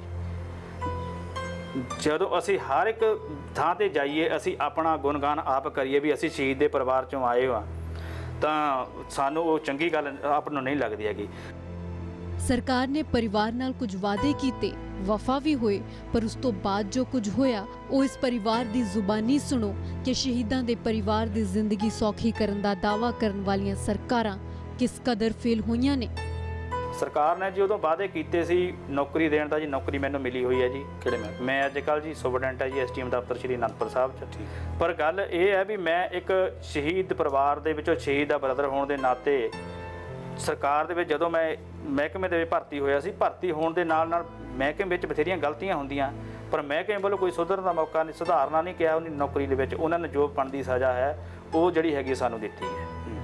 ਜਿਹਦੇ ਨਾਲ ਟਾਈਮ ਟੂ ਟਾਈਮ ਜਿਹੜੀ ਹੈਗੀ ਮੇਰੀ ਬਦਲੀ ਕਦੇ ਰੋਪੜ ਦੀ ਹੋ ਜਾਣੀ ਹੈ ਜੀ, ਕਦੇ ਨੰਗਲ ਦੀ ਹੋ ਜਾਣੀ, ਕਦੇ ਚਮਕੌਰ ਸਾਹਿਬ ਦੀ ਕਰ ਦੇਣੀ। ਫਿਰ ਵੀ ਉੱਥੇ ਸਾਨੂੰ ਆਪਣੀ ਐਪਲੀਕੇਸ਼ਨ ਦੇ ਬਾਰ-ਬਾਰ ਦੱਸਣਾ ਪੈਂਦਾ ਵੀ ਇਹ ਸ਼ਹੀਦ ਦੇ ਪਰਿਵਾਰ ਦੇ ਮੈਂਬਰ ਹੈ, ਵੀ ਸਾਡੇ ਨਾਲ ਅਜਿਹਾ ਨਹੀਂ ਕਰੋ। ਕਿਉਂਕਿ ਜਦੋਂ ਜਦੋਂ ਸਰਕਾਰ ਜਦੋਂ ਮੈਂ ਭਰਤੀ ਹੋਇਆ ਸੀ ਉਸ ਸਮੇਂ ਜਦੋਂ ਸਰਕਾਰ ਨੇ ਮੈਨੂੰ ਅਪਾਇੰਟਮੈਂਟ ਲੈਟਰ ਦਿੱਤਾ ਸੀ ਸਭ ਤੋਂ ਨੀਰਤ ਉਹ ਕਹਿੰਦੇ ਸਭ ਤੋਂ ਲਾਗੇ ਜਿਹੜੀ ਜਗ੍ਹਾ ਹੈਗੀ ਉੱਥੇ ਇਹਦੀ ਪੋਸਟਿੰਗ ਰਹੀ ਪੋਸਟਿੰਗ ਕਰੋ। ਉੱਥੇ ਅਨੰਦਪੁਰ ਸਾਹਿਬ ਵੀ ਮੇਰੀ ਪੋਸਟਿੰਗ ਕੀਤੀ। ਬਸ 3 ਸਾਲ ਗੁਜ਼ਰਨ ਤੋਂ ਬਾਅਦ ਕਦੇ ਮੈਨੂੰ ਨੰਗਲ ਲਾ ਦਿੰਦੇ ਤੇ ਕਦੇ ਰੋਪੜ ਲਾ ਦਿੰਦੇ ਸੀ ਕਦੇ ਚਮਕੌਰ ਸਾਹਿਬ ਲਾ ਦਿੰਦੇ ਸੀ। ਜਦੋਂ ਹੁਣ ਲਾਸਟ ਸਮੇਂ ਮੇਰੀ ਬਦਲੀ ਚਮਕੌਰ ਸਾਹਿਬ ਸੀ ਉਹ ਤੋਂ ਪਹਿਲਾਂ ਜਿਹੜੇ ਹੈਗੇ ਆ ਮੇਰੇ ਫਾਦਰ ਸਾਹਿਬ ਬਿਮਾਰ ਸੀ। 2015 ਦੇ ਵਿੱਚ ਉਹਨਾਂ ਨੂੰ ਜਿਹੜਾ ਹੈ ਟਿਊਮਰ ਹੋ ਗਿਆ ਸੀ ਪੇਟ ਦੇ ਵਿੱਚ।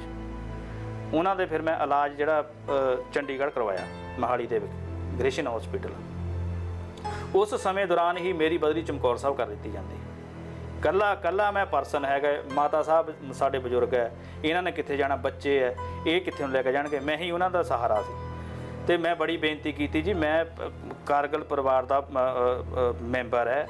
ਤੁਸੀਂ ਮੈਨੂੰ ਮੇਰੀ ਬਦਲੀ ਜਿਹੜੀ ਹੈਗੀ ਅਨੰਦਪੁਰ ਸਾਹਿਬ ਕਰੋ। ਮੇਰੇ ਇਸ ਹਾਲਾਤ ਇਸ ਹਾਲਾਤ ਨੂੰ ਮੁੱਖ ਰੱਖਦੇ ਹੋਏ, ਕਿਉਂਕਿ ਸਹਾਰਾ ਅੰਤਮ ਸਹਾਰਾ ਫਾਦਰ ਸਾਹਿਬ ਦਾ ਮੈਂ ਇਕੱਲਾ ਹੀ ਹੈ। ਇੱਕ ਤਾਂ ਸ਼ਹੀਦ ਹੋ ਗਿਆ, ਦੂਜਾ ਮੈਂ ਸੀ। ਤੇ ਕਿਸੇ ਨੇ ਨਹੀਂ ਮੇਰੀ ਗੱਲ ਸੁਣੀ ਹੈਗੀ। ਚਮਕੌਰ ਸਾਹਿਬ ਰਹਿੰਦੇ ਹੀ ਜਿਹੜੀ ਹੈਗੀ ਹੈ ਮੈਂ ਫਾਦਰ ਸਾਹਿਬ ਨੂੰ 8-8 ਦਿਨ ਜਿਹੜੇ ਹੈਗੇ ਮੈਂ ਛੁੱਟੀ ਲੈ ਕੇ ਮਹਾਲੀ ਦੇ ਵਿੱਚ ਜਿਹੜਾ ਹੈਗਾ ਉਹਨਾਂ ਦਾ ਇਲਾਜ ਕਰਾਇਆ। ਅੰਤ ਸਮੇਂ ਉਹਨਾਂ ਨੇ ਤਕਰੀਬਨ ਦਸੰਬਰ ਦੇ ਵਿੱਚ, ਦਸੰਬਰ ਦੇ ਵਿੱਚ ਜਿਹੜੀ ਹੈਗੀ ਆ, ਉਹਨਾਂ ਦੀ ਜਿਹੜੀ ਹੈਗੀ ਹੈ ਉਹ ਡੈਥ ਹੋਈ ਹੈ। ਮੈਂ ਬੜੀਆਂ ਮਿਹਨਤਾਂ ਕੀਤੀਆਂ। ਉਹ ਵੀ ਇੱਕ ਸਰਵਿਸਮੈਨ ਤੇ ਫੌਜੀ ਤੇ ਉਹਨਾਂ ਨੇ ਵੀ ਦੇਸ਼ ਦੀ ਸੇਵਾ ਕੀਤੀ ਪਰ ਸਰਕਾਰ ਵੱਲੋਂ ਬੜਾ ਅਣਗੌਲਿਆ ਕੀਤਾ ਗਿਆ ਸ਼ਹੀਦ ਦੇ ਪਰਿਵਾਰਾਂ ਨੂੰ। ਹੁਣ ਵੀ ਉਹ ਕਰ ਰਹੇ ਹੁਣ ਵੀ ਅਣਗੌਲਿਆ ਕਰ ਰਹੇ ਹੈ। ਸਰਕਾਰ ਨੇ ਵਾਅਦੇ ਕੀਤੇ ਸੀ ਨੌਕਰੀ ਨੌਕਰੀ ਮੈਨੂੰ ਦੇ ਦਿੱਤੀ ਮੈਂ ਆਪਣੀ ਤੁਹਾਨੂੰ ਕਹਾਣੀ ਦੱਸ ਦਿੱਤੀ। ਦੂਜਾ ਸਕੂਲ ਦਾ ਨਾਮ ਸੀ ਸਕੂਲ ਦਾ ਨਾਮ ਉਹਨਾਂ ਦੇ ਨਾਂ ਤੇ ਰੱਖ ਦਿਆ ਗਿਆ। ਇੱਕ ਸੜਕ ਬਣਾਈ ਸੀ ਪਿੰਡ ਦੀ ਫਿਰਨੀ ਉਹਨਾਂ ਦੇ ਨਾਂ ਤੇ ਬਣਾਈ ਸੀ ਉਦੋਂ ਬੋਰਡ ਲਾਇਆ ਸੀ ਅੱਜ ਕੱਲ ਬੋਰਡ ਪਤਾ ਨਹੀਂ ਹੁਣ ਕਿੱਥੇ ਹੈ ਕੋਈ ਸਰਕਾਰ ਦੀ ਨੇ ਸ਼ਹੀਦ ਦੇ ਪਰਿਵਾਰਾਂ ਨੂੰ ਬੜਾ ਅਣਗੌਲਿਆ ਕੀਤਾ ਦੇਖਿਆ ਤੱਕ ਨਹੀਂ ਜੇ ਅਸੀਂ ਕੋਈ ਕੰਮ ਕੀਤਾ ਤਾਂ ਸਾਨੂੰ ਉਹਦੇ ਤੇ ਪਹਿਰਾ ਦੇਣ ਦੀ ਲੋੜ ਹੈ। ਤੁਸੀਂ ਮੇਰੇ ਪਿੰਡ ਦੇ ਵਿੱਚ ਆਏ ਹੋ ਤੁਸੀਂ ਸਾਰੇ ਪਿੰਡਾਂ ਵਿੱਚ ਜਿੱਥੇ ਸ਼ਹੀਦ ਦੇ ਪਰਿਵਾਰਾਂ ਦੇ ਕੋਲ ਗਏ ਹੋਣੇ ਸਾਰੇ ਪਿੰਡਾਂ ਵਿੱਚ ਗੇਟ ਬਣੇ ਹੋਏ ਆ। ਸਾਡੇ ਪਿੰਡ ਵਿੱਚ ਕੋਈ ਗੇਟ ਨਹੀਂ ਬਣਿਆ। ਸ਼ਹੀਦ ਦਾ ਗੇਟ ਹੀ ਬਣਿਆ। ਸ਼ਹੀਦ ਦਾ ਗੇਟ ਨਹੀਂ ਬਣਿਆ ਜਦੋਂ ਕਿ ਪੰਚਾਇਤ ਵੱਲੋਂ ਬਾਰ-ਬਾਰ ਮਤੇ ਪਾ ਕੇ ਦਿੱਤੇ ਗਏ। ਬਾਰ-ਬਾਰ ਮਤੇ ਪਾ ਕੇ ਦਿੱਤੇ ਗਏ। ਹੁਣ ਵੀ ਸਰਪੰਚ ਸਾਹਿਬ ਸਾਡੇ ਕੋਲ ਬੈਠੇ ਆ। ਇਹਦੇ ਨਾਲ ਨਾਲ ਸਰਕਾਰ ਨੂੰ ਇਹ ਵੀ ਚਾਹੀਦਾ ਹੈ ਵੀ ਸ਼ਹੀਦਾਂ ਦੇ ਪਰਿਵਾਰਾਂ ਨੂੰ ਅਸੀਂ ਬਣਦਾ ਸਨਮਾਨ ਦੇਣ ਦੇ ਲਈ ਯੋਗ ਉਪਰਾਲੇ ਕਰੀਏ। ਜਿਹਦੇ ਜਿਹਦੇ ਨਾਲ ਜਿਹਦੇ ਨਾਲ ਆਉਣ ਵਾਲੀਆਂ ਪੀੜ੍ਹੀਆਂ ਨੂੰ ਇਹ ਬੜੀ ਬੜਾ ਗਰਵ ਮਾਣ ਮਹਿਸੂਸ ਹੋਵੇ ਵੀ ਸਾਡੇ ਪਿੰਡ ਦਾ ਸ਼ਹੀਦ ਹੈ। ਉਸ ਸ਼ਹੀਦ ਨੂੰ ਦੇਖ ਕੇ ਲੋਕਾਂ ਦੇ ਵਿੱਚ ਅਵੇਅਰਨੈਸ ਆਵੇ ਵੀ ਅਸੀਂ ਵੀ ਜਿਹੜਾ ਹੈਗਾ ਫੌਜ ਦੇ ਵਿੱਚ ਭਰਤੀ ਹੋਈਏ। ਦੇਸ਼ ਦੀ ਸੇਵਾ ਕਰੀਏ। ਇੰਸਪਾਇਰ ਮੁਸ਼ਕਿਲਾਂ ਇੱਥੇ ਹੀ ਨਹੀਂ ਰੁਕਦੀਆਂ। ਸਰਕਾਰਾਂ ਲਈ ਇਹਨਾਂ ਕੋਲ ਕਈ ਹੋਰ ਵੀ ਸਵਾਲ ਨੇ।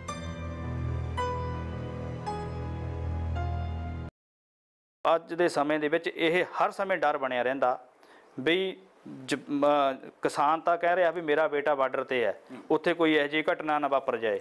ਬਾਰਡਰ ਤੇ ਬੈਠਾ ਹੈਗਾ ਜਵਾਨ, ਉਹਨੂੰ ਅੱਜ ਇਹ ਡਰ ਬਣਿਆ ਹੋਇਆ ਵੀ ਬਾਰਡਰਾਂ ਤੇ ਜਿਹੜੇ ਦਿੱਲੀ ਦੇ ਬਾਰਡਰਾਂ ਤੇ ਬੈਠੇ ਹੈਗੇ ਸਾਡੇ ਪੇਰੈਂਟ ਸਾਡੇ ਮਾਂ-ਬਾਪ ਬੈਠੇ ਹੈਗੇ, ਉੱਥੇ ਕੋਈ ਅਜਿਹੀ ਘਟਨਾ ਨਾ ਵਾਪਰ ਜਾਏ।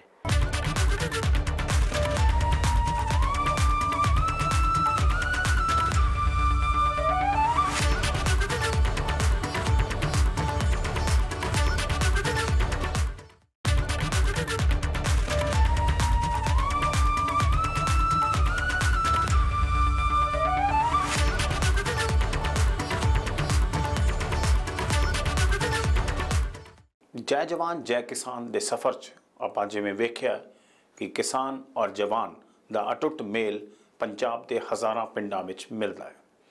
ਇਹੋ ਕਹਾਣੀ ਗੁਰਜਿੰਦਰ ਦੇ ਪਰਿਵਾਰ ਦੀ ਹੈ। ਇਹ ਵੀ ਇੱਕ ਕਿਸਾਨੀ ਪਰਿਵਾਰ ਹੈ ਔਰ ਜੋ ਕਿਸਾਨਾਂ ਦਾ ਅੰਦੋਲਨ ਚੱਲ ਰਿਹਾ ਹੈ, ਦਿੱਲੀ ਦੇ ਬਾਰਡਰਾਂ ਦੇ ਉੱਤੇ ਕਿਸਾਨ ਡਟੇ ਨੇ, ਉਸ ਦਾ ਦਰਦ ਇਹਨਾਂ ਨੂੰ ਬਹੁਤ ਜ਼ਿਆਦਾ ਹੈ ਔਰ ਮੰਗ ਕਰਦੇ ਨੇ ਕਿ ਕਾਨੂੰਨ ਰੱਦ ਹੋਣੇ ਚਾਹੀਦੇ ਨੇ। ਔਰ ਜਿਹੜੀ ਚੀਜ਼ ਕਿਸਾਨ ਨਹੀਂ ਮੰਗਦੇ, ਉਹਨਾਂ ਉੱਤੇ ਕਿਉਂ ਥੋਪੀ ਜਾਂਦੀ ਹੈ?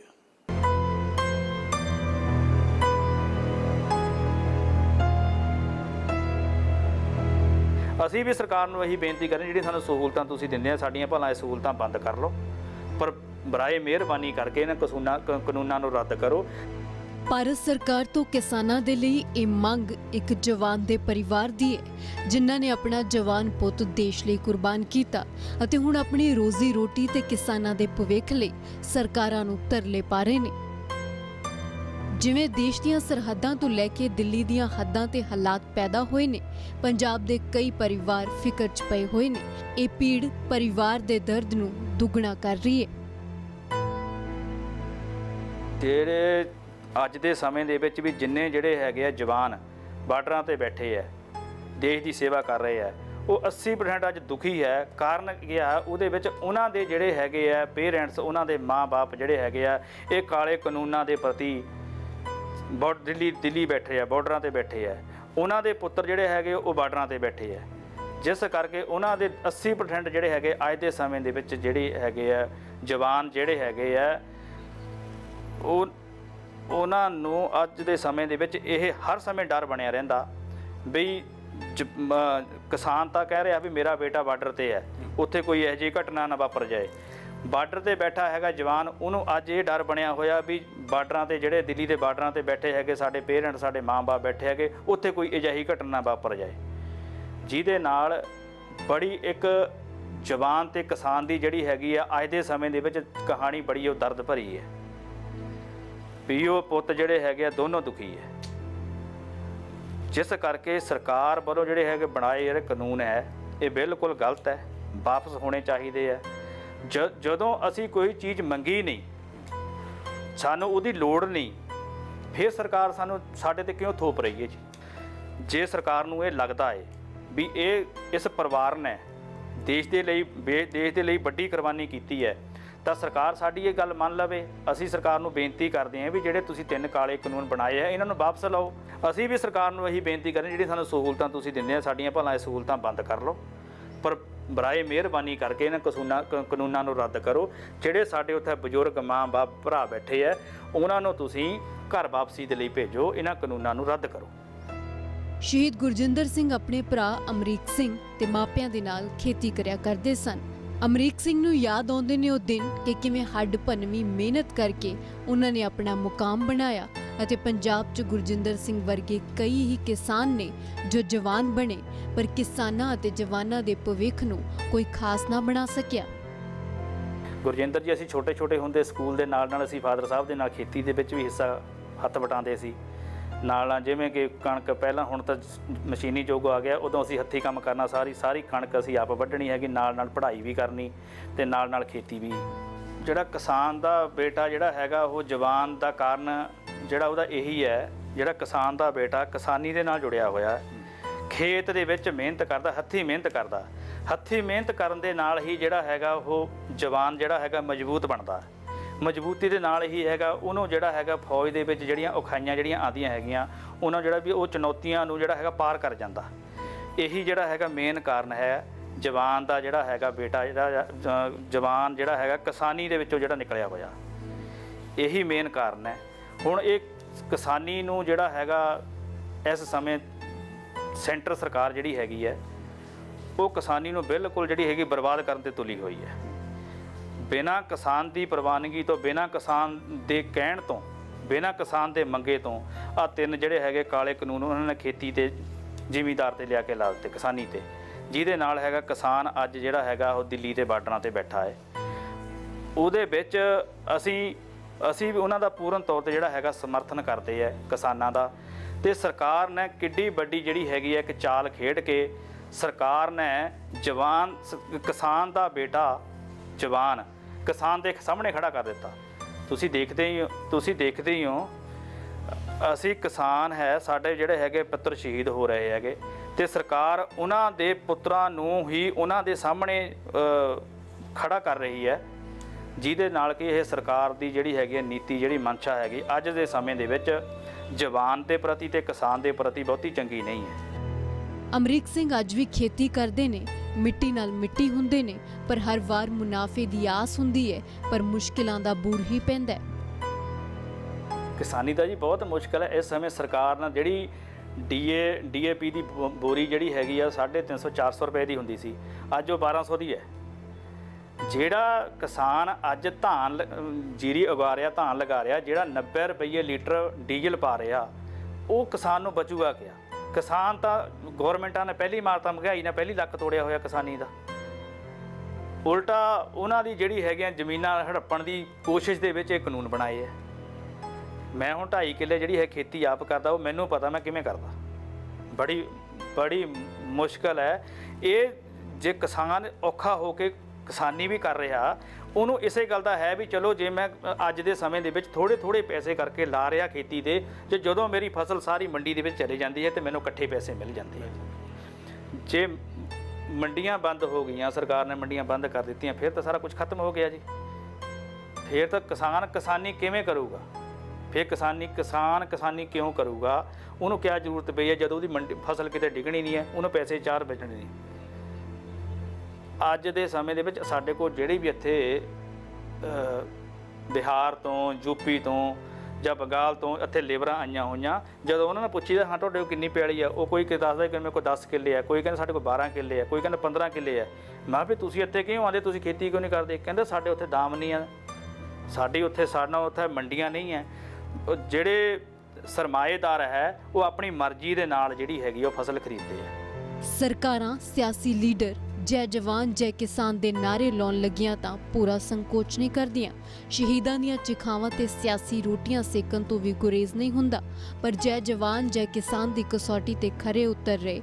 ਇਸ ਪਰਿਵਾਰ ਦੇ ਸਵਾਲ ਸਰਕਾਰ ਸਾਹਮਣੇ ਸ਼ੀਸ਼ਾ ਨੇ ਕਿ ਕਿਵੇਂ ਸਰਕਾਰਾਂ ਦੀ ਕਹਿਣੀ ਤੇ ਕਥਨੀ ਬਿਲਕੁਲ ਜੁਦਾ ਹੈ।